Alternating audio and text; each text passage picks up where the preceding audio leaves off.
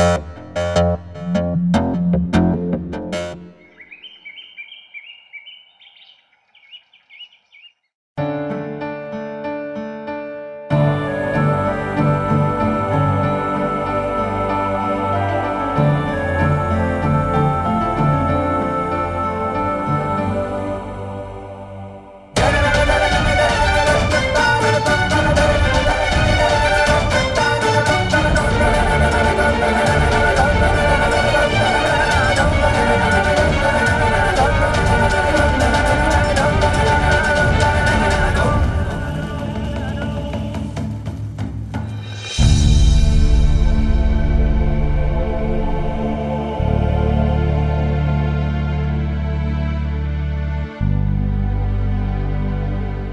इरादा क्या है?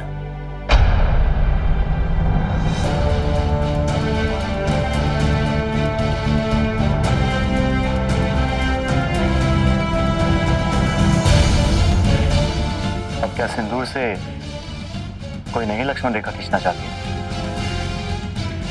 क्या फ़ायदा है मीठी? जब तकदीर की ही लकीरों में न लिखा तभी तो कल रात अपनी ही खींची हुई लक्ष्मण रेखा को दो बार पार करके तुम मुझ तक आई। मेरा प्यार तुम्हें खींच रहा तो कल रात जो भी हुआ, दरअसल कुछ ज़्यादा ही पी ली थी मैंने मुझे ऐसे नहीं बोलना चाहिए था तो। माफ़ कर दो।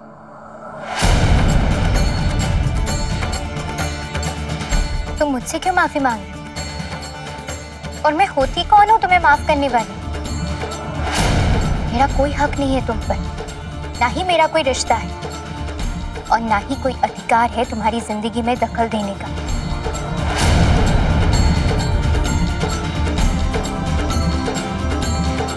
और हाँ तुम्हें भी कोई हक नहीं बनता मेरी ज़िंदगी में दखल देने का।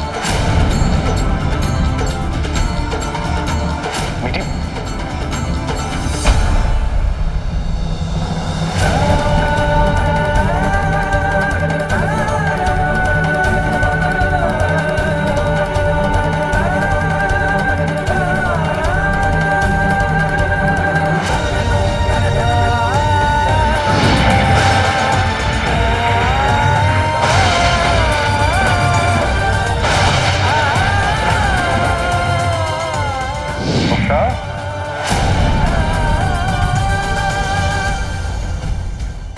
हमें भी पता चला कि आप वे भी आए हैं। आ, आ, आप ठीक तो है ना? हाँ बड़े पापा। बहुत तकलीफ़ हुई होगी। रात भर वहाँ रुकना पड़ा। नहीं नहीं बड़े पापा। बिल्कुल तकलीफ़ नहीं हुई। एक ही रात की तो बात थी। जानते हैं। आप एक मिनट। बड़े पापा आपको ये फाइल्स देखिए। हम फाइल्स लेकर ही आए।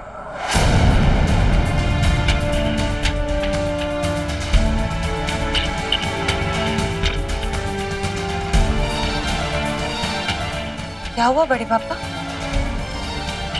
आप बिल्कुल खुश नहीं लग रहे। क्या हुआ? बेटे वो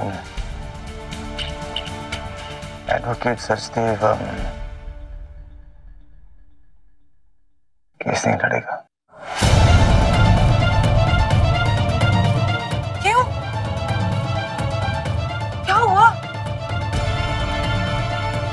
फिर ये फाइल्स काम नहीं आएँगे। हमारे पापा को जमानत नहीं मिलेगी। बेटे आप चिंता मत कीजिए आप हम किसी दूसरे वकील को देख लेंगे। But he is one of the best lawyers बड़े पापा। जानते हैं बेटे हम जानते हैं। बेटे ये वक्त इन सब बातों के लिए नहीं है। पंडित जी आते होंगे। बच्चे के नाम करने के लिए आप आप जल्दी से तैयार हो जाइए, पंडित जी आ जाइए। और आप चिंता मत कीजिए, हम सब संभाल लेंगे, हम नाम देख लेंगे। और ये फाइल्स हम अपने पास रखते हैं। चिंता मत कीजिए, हम चलते हैं। बस बस, आप चिंता मत कीजिए। सब ठीक हो जाएगा।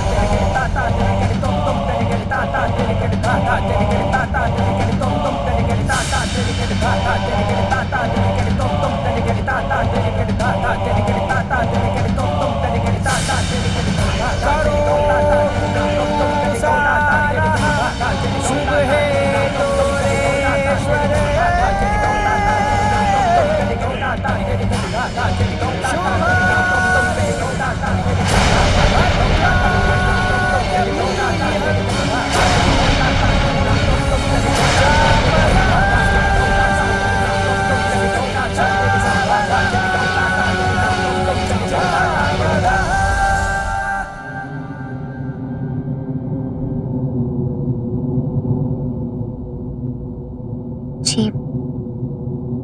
वो मैं आप ही को फ़ोन लगा रही थी कि पाँव फिसल गया।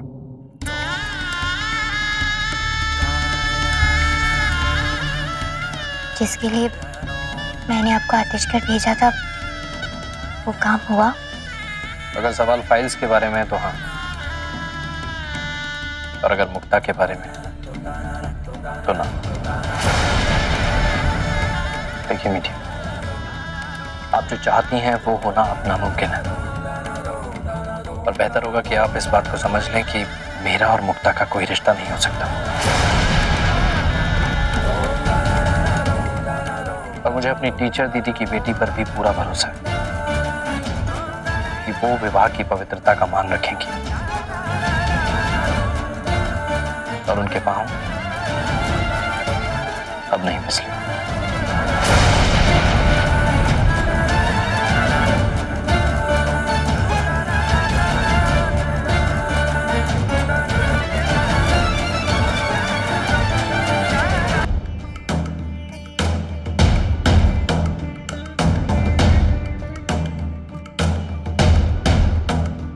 आप कुछ कहना चाहते हैं।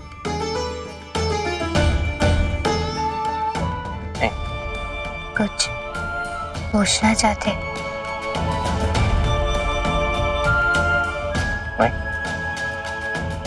ना मैं आपसे कुछ कहना चाहता हूँ ना आपसे कुछ पूछना चाहता हूँ।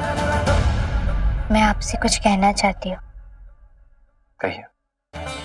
मैं जानती हूँ कि मेरी माँ की परवरिश आपके वसूल आपको इस रिश्ते को तोड़ने की इजाज़त नहीं देते। आपके इस फैसले की मैं इज़्ज़त करती हूँ। लेकिन अपने उसूल अपने आदर्शों की वजह से एक झूठे रिश्ते को निभाना, उससे अच्छा है सच्चे दिल से, सच्चे मन से एक सच्चे रिश्ते को निभाना। सिर्फ़ उसूल और आदर्शों की वजह से एक छोटे रिश्ते को निभाना गलत है। सही कहा आपने। आपको ऐसा लगता है कि मेरी शादी मुक्ता के साथ हो जानी चाहिए क्योंकि हम एक दूसरे से प्यार करते हैं। सही लगता है आपको? लेकिन आपको याद है कि आपने ये रिश्ता बनाया क्यों था? आपने शादी अपनी अम्मो नानी की वजह से की थी मीठी आप भी तो हिम्मत नहीं कर पा रही हैं अपनी अम्मो नानी से सब सच कहने की। अब आप जो सोच रही हैं या फिर जो करना चाह रही हैं, वो संभव नहीं सिर्फ़ एक ही रास्ता है। जिस दिन आप अपनी अम्मू नानी से सब सच कहने की हिम्मत करेंगी, उस दिन मैं भी अपना फैसला ले लूँ। कैसी बातें कर रहे हैं आप? हम दोनों के हालात अलग है। अम्मू नानी की उम्र हो चुकी है। अभी अभी उन्हें दिल का दौरा पड़ा है। वो बहुत कमज़ोर है। मैं उन्हें नहीं बता सकती, विष्णु। मैं अपनी माँ को खो चुकी हूँ। अब अन्नी मेरी माँ भी है और मेरी नानी भी। मैं एक पल के लिए आकाश के बिना रह सकती हूँ, लेकिन अन्नी के बिना मैं सोच भी नहीं सकती। अगर अन्नी को कुछ हो जाए, मैं मैं बर्दाश्त नहीं कर पाऊँगी, विष्णु। अम्मू नानी को कुछ ना हो। इसीलिए तो हम इस रिश्ते में बंधे हैं। और चाहकर भी कुछ नहीं कर पा रहे। अब हम दोनों एक ऐसे चक्रव्यूह में फंस गए, जिससे हमें कोई नहीं निकाल सकता।